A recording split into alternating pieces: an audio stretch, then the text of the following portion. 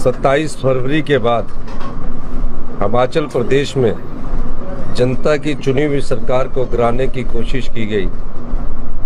और उसके बाद से प्रदेश में जो अनिश्चितता का माहौल भारतीय जनता पार्टी ने पैदा करने की कोशिश की, और जयराम ठाकुर जी उस अनिश्चितता के माहौल में सबसे ज़्यादा ये कहते रहे कि 4 जून को हमारी दो सरकारें बनेगी। तो उनका जो आंकड़ा था, वो हमें तो समझ नहीं आ रहा था। लेकिन जिस षड्यंत्र के तहत जनता की चुनी सरकार को गिराने की कोशिश कर रहे थे, वो आंकड़ा मुझे ऐसा लगता है कि उसी तरीके से वो और विधायकों की खरीद फरोख्त करने की कोशिश करते रहे मैं हिमाचल की जनता का, देवी देवताओं का और भगवान के आशीर्वाद से हमें फिर 40 सीटें देकर जो 2022 में जनता ने हमें मैंडेट दिया था, वहाँ तक पहुँचा दिया।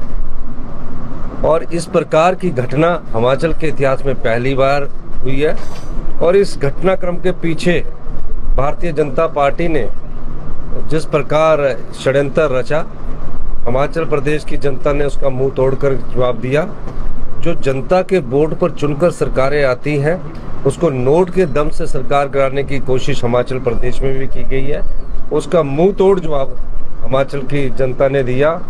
चौदह महीने पहले जो छह विधायक बनकर गए थे, वो आज घर बैठे हैं और जनता ने एक सही समय पर सही निर्णय सुनाया और हमारी सरकार को दोबारा से हिमाचल के हित में, आत्मनिर्भर हिमाचल बनाने के हित में और 2032 तक हिमाचल प्रदेश को समृद्ध और अमीर राज्य बनाने की दिशा में हमें आशीर्वाद दिया है। हम जनता के इस आशीर्वाद को स्वीकार करते हैं। और इस आशा के साथ कि भारतीय जनता पार्टी भी भविष्य में सकारात्मक भूमिका निभाए।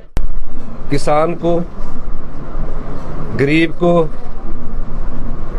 जो इस प्रकार के सभी लोगों को इससे छूट दी गई है। जब एक्स एम अधिकारी जुडिश